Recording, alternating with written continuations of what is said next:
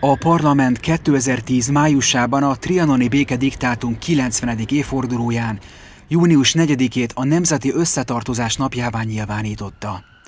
A jeles évforduló alkalmából június 3-án Rákosmente önkormányzata is megemlékezést tartott a Pesti úti népkertben álló országzászlónál. Az esemény kezdetén az Erszabó István által vezetett Rázene Városi Fúvós Zenekar, valamint Leskódeli Tercia közreműködésével a megjelentek közösen elénekelték a himnuszt. Istenem!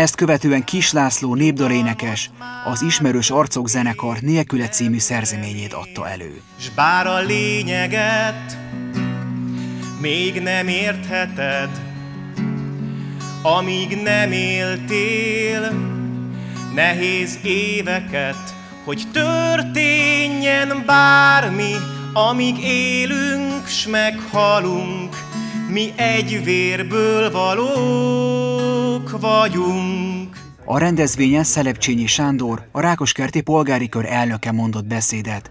Mint kiemelte, a Trianon szó hallatán még 102 esztendő elteltével is mindannyiunk számára a fájdalom, a csalódottság, a harag és a tehetetlen düh jut az eszébe. Mi nem akartuk az 1914-ben kirobbantott háborút. Az osztrák-magyar monarchiában nem volt elegendő ereje a magyar politikai szereplőknek ahhoz, hogy rákényszerítsék akaratukat Ausztriára, és különösen ahhoz nem volt elég, hogy az 1848-49-es szabadságharcunkat leverő Ferenc József császárt elhatározásában befolyásoljuk. Az elemi iskolai történelem órákon is hallhattuk, hogy a köztudottan magyar gyűlölő Ferenc Ferdinánd trónörkös ellen elkövetett szarajevói merénylet utáni események vezettek a Szerbia elleni hadüzenethez. Szelepcsényi Sándor továbbá rámutatott, hogy bár sokan leginkább a területeinket ért veszteségeket fájlalják, de legalább ekkora tragédia érte azokat a családokat, akikhez sohasem térhettek haza harcokban eleső férfiak. A 17. kerület vonatkozásában abban az időszakban 160 rákos keresztúri fiatal vesztette életét. Hozzátette, a jelenkor egyik legfontosabb kérdése az, hogy vajon a mai nemzeték bele tudná képzelni magát az akkor élő egyszerű emberek gondolatvilágába. Mi, akik közvetlenül érintettek voltunk, még így harmadik, negyedik generációváltás után is érezzük azt a tehetetlen erkeseredést, ami úrrá lett elődeinken. A hazaszeretet akkoriban szent fogalom volt, a bevonulók készen álltak katonaként Magyarországért hősi halált halni. Micsoda iszonyatos fájdalom uralkodott el az egyszerű embereken, amikor nem csak az elvesztett háborúra gondoltak, hanem a győztesek gőgös kegyetlenségével a hazára kényszerített békeszerződés feltételeit is tudomásul kellett venni. Az emlékműnél koszorút helyzettel Rákosmente önkormányzatának képviseletében dr. Bakos András alpolgármester és Rózsaegyi Péter környezetvédelmi tanácsnok, valamint a Fidesz Magyar Polgári Szövetség 17. kerületi szervezetének nevében Dunai Mónika Rákosmente országgyűlési képviselője.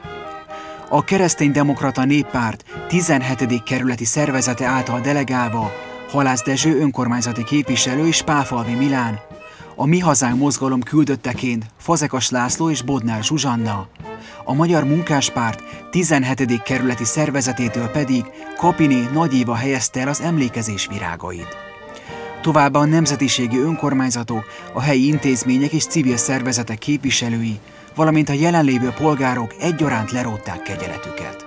A népkertben történő megemlékezés, a szózat és a székely himnusz közös eléneklésével ért véget.